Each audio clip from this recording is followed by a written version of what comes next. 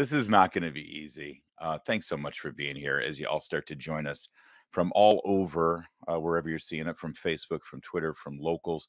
Uh, big thanks to all of our the members of our Larry O'Connor community over at Locals uh, for supporting everything that we do and allowing us to be able to do uh, events like this. This is wide open to everybody at YouTube and all of our subscribers at YouTube as well. Uh, I'm all tense right now. I'm all tense right now. This is not going to be easy. Um, we're going to be here for the next couple of hours at least. I, leading you right up to the State of the Union address. How's that? We're we're your pre-show for the State of the Union tonight, as uh, as President Biden celebrates his great achievements. Um, where I, I was joking earlier with Meredith that we're we're basically throwing this thing together the same way Andrew would when he uh, would fill in for a radio show. If he filled in for Dennis Miller, I used to Alex Marlow and I used to sort of help him produce it, and and um, he would just throw everything at the wall. He would like over the course of three hours, he would book like twenty guests. He said, "Well, hey, like Andrew, when when do you expect them to come on? When do you want them? How long? Do, I don't know. Just have them all come on. We'll just talk." They'll be fine. Don't worry about it. And we're, sort of doing that. Honestly, this is about you. Well, we, listen, we're going to tell a lot of stories. We're going to tell a lot of our old stories, and we're going to hopefully make you smile and make you cry a little bit too. I know I, it's, I'm going to have trouble holding it together. I, I am immediately right back where I was 10 years ago. I remember doing a special show. It wasn't the night of his death, I don't think, but I think it was like the day after his death or maybe the day after that, March 2nd, March 3rd, on the old stage right show that we used to do and stream at Breitbart TV every night. And I'm I'm like right back in that place where I'm I'm barely holding it together. Uh, I can't believe it's been 10 years. But I, I do want this to be about you. Join us um, and and sign in and make sure uh, that you that you comment and we'll we'll load it in there. In fact, we'll start with Mr. Fastbucks here who uh, who says it all. War. Yeah. It's amazing how war just took off and took flight and and sort of took over, didn't it? All right, here he is. Well, like I said, this is going to be exactly like Andrew would have. Uh, this is exactly how Andrew would have done the Dennis Miller show when he was what back in the day. Alex, remember when Andrew would sit in for Dennis Miller and he would give us a list of like twenty guests to fit into three hours? Absolutely, we'd have like a guest for literally slotted for three minutes. Yes, it was right. short, shorter than a, than a Fox News primetime hit. And it was like, Andrew, we got to plan this out. And we got to say, oh, it doesn't matter. They're all my friends. We'll just have them all on at the same time. And everyone, I remember there were like six of us in studio, all with a hot mic. It was nonsense. and I know why he did it. He did it because for all of Andrew's confidence, he was not super confident in his talk radio hosting ability. And in retrospect, Andrew was an okay host. He was maybe the best guest in the history of talk radio but I don't yes. know if hosting was his thing necessarily. And the thing is, for me, and I'm sure Larry, you felt the same thing because you helped him uh, prep so many of those shows. It, it had the reverse effect of what he wanted. He wanted it to reduce the stress. It greatly increased the stress level trying to cram yes. in all these people. They're like A-list people. It's like the real Dennis Miller. Like it's the, it's the right. we're doing his show. I mean, we got to have some sense of organization here right. Oh, I know. It was a nightmare. And it was also a blast. That's the thing. I mean, everything about working with Andrew every day, I think, and you can attest to this better than anyone, was incredibly fun, incredibly memorable. You were laughing the whole time. And it was also like the house was on fire at all times. Exactly. That, that, that is how he preferred it for whatever reason. And it's very, maybe you can relate to it more than I can, but I'm much more introverted. And to watch Andrew. Andrew relaxed when it was most chaotic. I just don't even understand this as a personality trait. But yeah. he really seemed to be most comfortable and most at ease. When he was probably more comfortable screaming, stop raping the people at Occupy protesters than he would be like having a quiet night at home. That was probably more awkward for him than than uh, mixing it up with you know code pink and roller skates. So Alex, every year when we have to sort of struggle through remembering this horrific day that we all woke up to on March 1st back in 2012.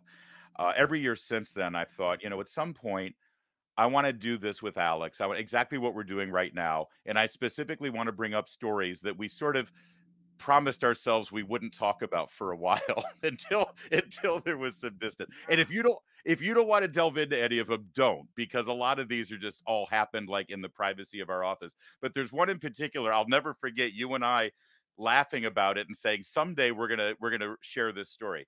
Do you remember the day? It was like within the last few months of Andrew's life. We were at the new offices on Sepulveda or right off Sepulveda. Remember when he met a homeless guy on the street and and pulled out his phone and interviewed him on the street? and he came running back into the office like it was the hottest, most like it was going to be a Drudge banner headline. This was the outtakes of citizen journalism yeah. that people don't see. And I can guarantee you, if you go to the Project Veritas office, there are uh, just just miles and miles and miles of, of footage of tape of, of this stuff. And Andrew did for everyone where it was him, you know, showing up at that Glenn Beck protest where he uh, where he stumps the guy by simply saying name you know name one act of racism. Right. and then he says, i'm not going to play your games. Like, right i'm not going to fall into that trap. Yeah. Right i'm not falling in that trap. For, for every one example of that there were several of andrew just like i went to lunch at Zankou chicken and there was a guy outside and i talked to him. I'm pretty sure this is content. In fact i think i'm going to drudge link off this. And you and i are going I, I, I mean, Andrew, we don't want to doubt you or anything. We certainly don't want to distinguish your flame here, but uh, I got reason to believe that won't happen, and we're going to waste a lot of time in the process. You, you, we would be three deaths away from each other, and you would start IMing me the headline like breaking: ma- ma- uh, internet media mogul talks to homeless man on Sepulveda.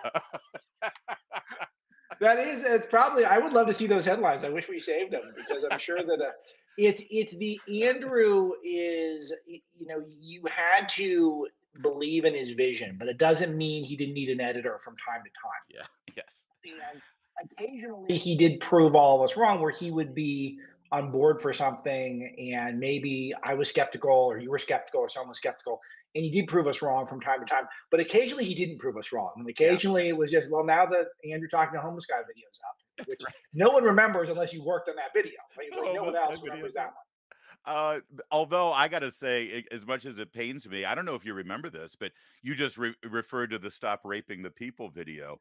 Um, you remember we decided that night that we would not post that at Breitbart TV.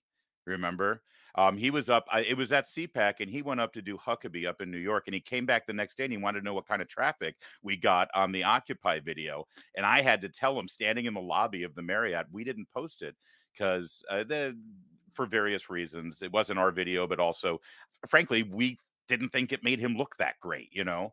And he, oh my, he's never. Uh, that's the worst he's ever yelled at me that night when we, because he was really angry that we didn't post that.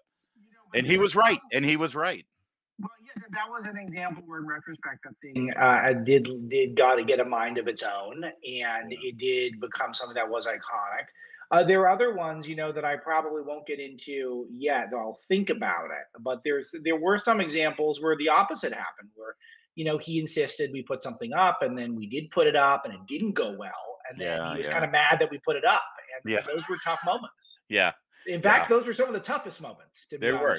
There were some very tough moments, but uh, I mentioned at the panel we did um, at CPAC uh, last week that my memory i mean i've i've never laughed as hard as i did in those three years when i worked with him i feel do you agree that sometimes i mean everyone says happy warrior happy warrior but i feel like too much of andrew's memory right now is wrapped up in the warrior part and we don't reflect enough on the happy part you know, if you see the tributes to Andrew on the front page of Breitbart.com uh, that we've had up all day, which I, I, it almost is like a documentary. It's really incredible stuff. Yeah. I mean, the, the who's who, the conservative movement from you know Clarence Thomas on down, uh, are in it the happy part comes through more than the warrior part and oh, that's good. something is it's near it's a narrow margin i would say but i would say overall people are spending more time today and i know i have thinking about what an amazing person andrew is and not just what a warrior he was because uh, uh, actually of his two big legacies jocularity and righteous indignation we're probably a little heavy on the righteous indignation now and a little light on the jocularity.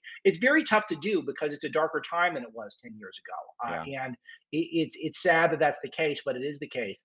But I do think uh, a hundred percent he would want us to have fun and to have a good time and to, you know, uh, uh to, to engage in that sort of behavior yeah. um, it, more than we do. Um, I know. By the way, thank you for for giving us time because it's uh uh you know you're on the are you on the west coast? I can't I forget which coast you're on now. Are you back Um, in? I'm, I'm, I'm on both coasts. I'm on You're on both both coasts. coasts. It's it's right. it's the it's top secret. But I'll tell you. Can you see my set, Larry? This I is can. very It's Andrew. very impressive. Look at this. It was a two-year-old's birthday over the weekend, Master Marlow. Jr. I named him after his big brother, Master Marlow. Very impressive. And you get the Dalmatians, we get the happy. Yeah. See, but I thought this was very Andrew. Like normally, you ask me even for a, a live stream because you know I, I know how much culture and image matters. Typically, I would I would get showered and I would I would do my hair and I'd set up my nice lights. oh Uh, but in the spirit of Andrew, this one I just walked over. I buttoned my shirt and I walked over and plopped the computer down.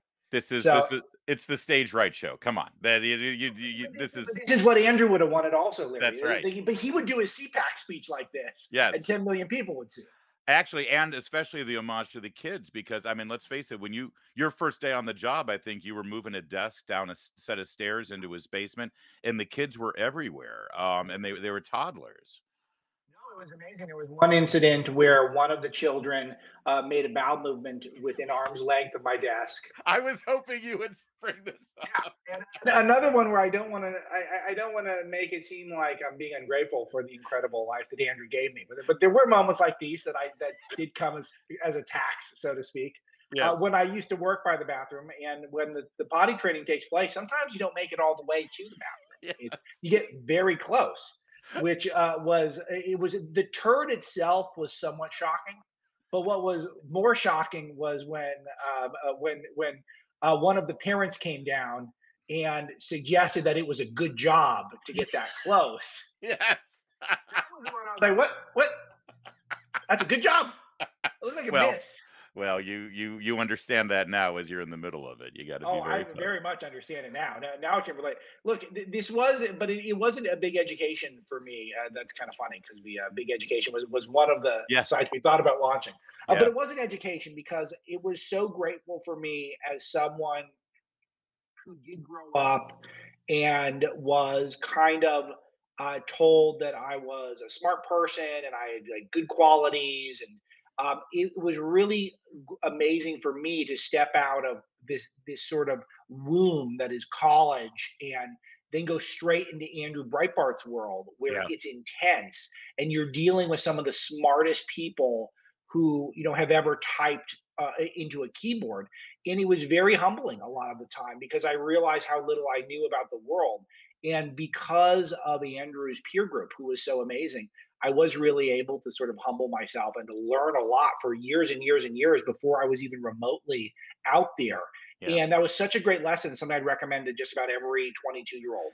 Can I ask you, and, and I'm gonna let you go because I know you're you're you know dealing with the site and it's a busy day, and, and I don't want to occupy your time. But I've always wanted to ask you, um, since I because I left um, within a year of Andrew's death, and obviously the, the site has just exploded thanks to me leaving.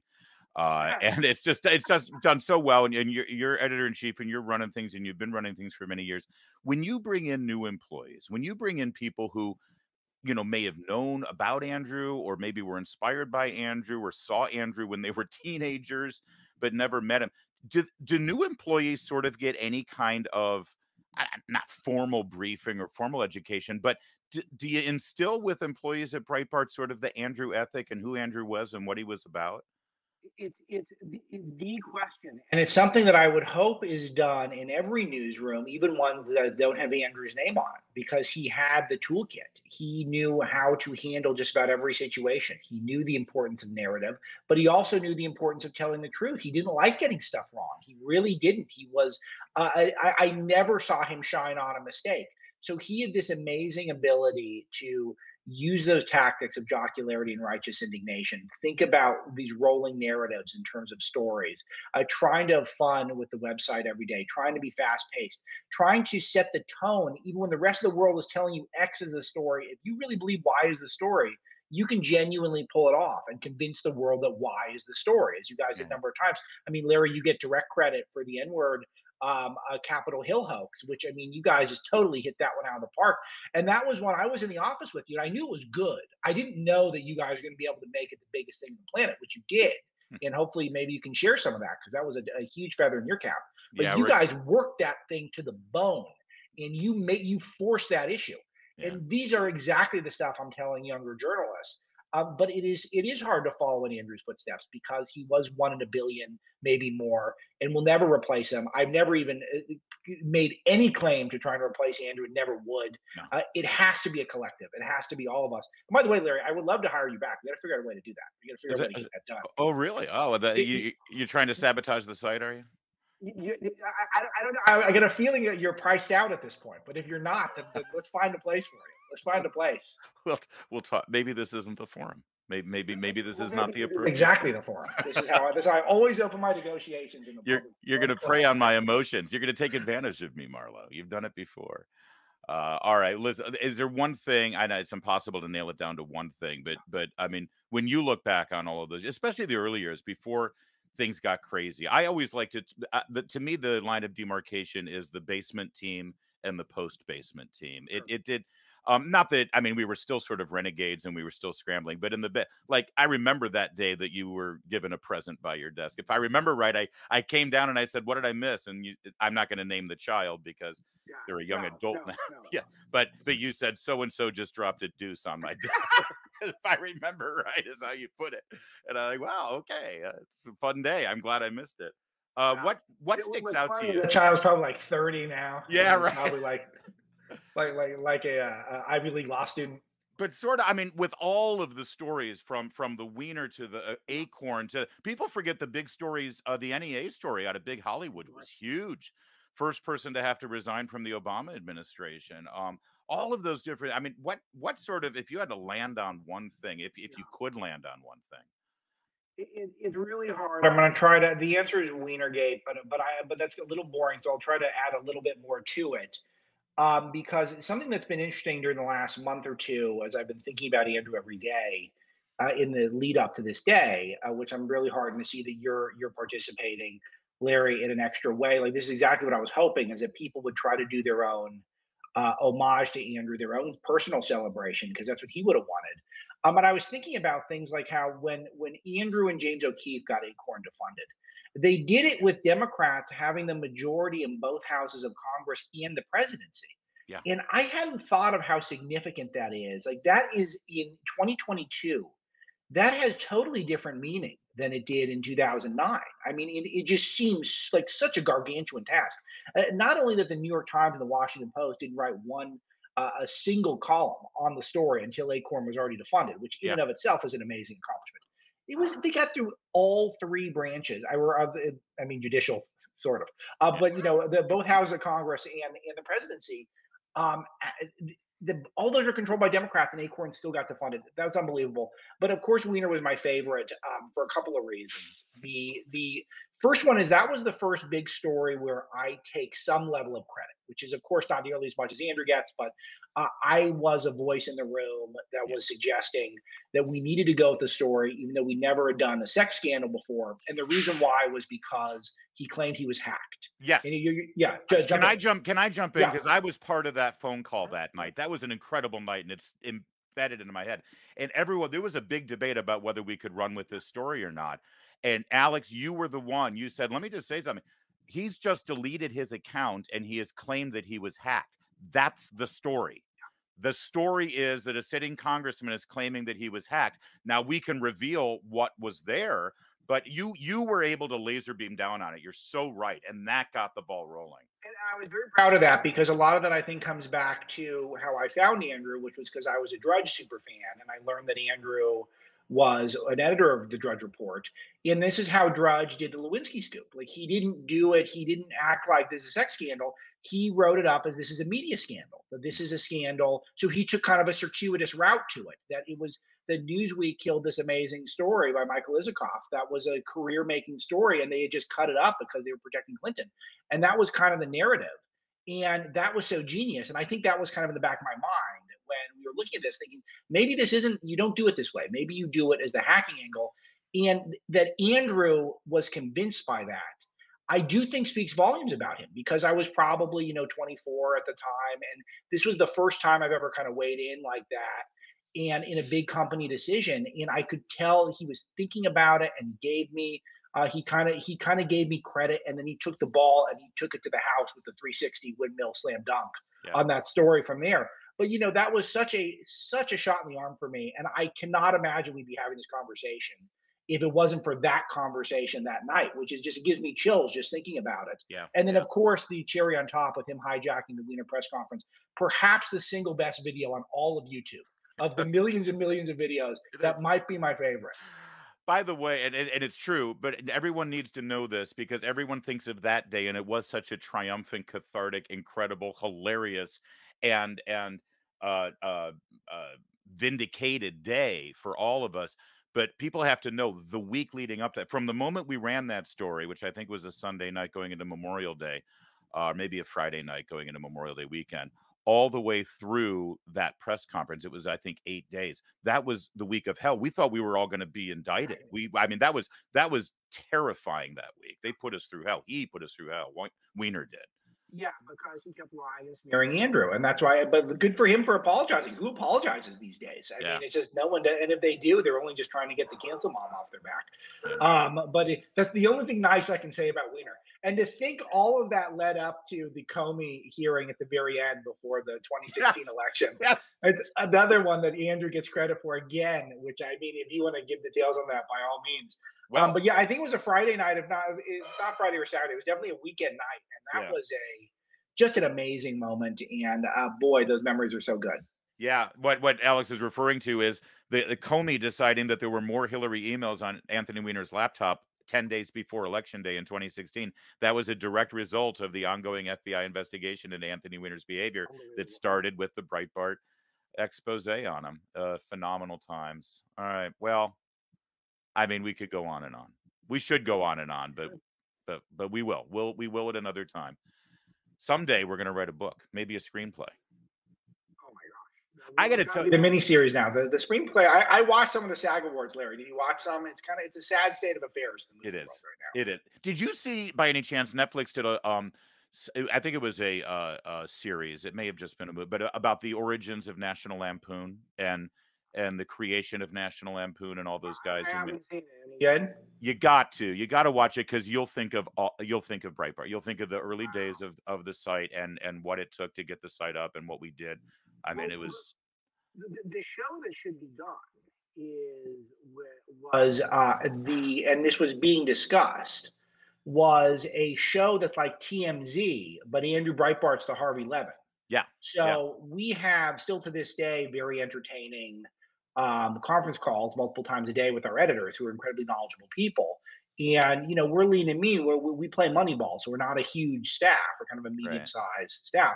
And but I mean, picture Andrew running something like that. Look at the personalities who came through Breitbart, from uh, Ben Shapiro to Peter Schweizer to Steve Bannon to Dana Loesch to you to me, uh, James O'Keefe. I mean, the list goes on and on. These these people cycling in to yeah. be in Andrew's newsroom and talk through the stories, like that would be I did. I I regret that that never happened about as much as I regret anything.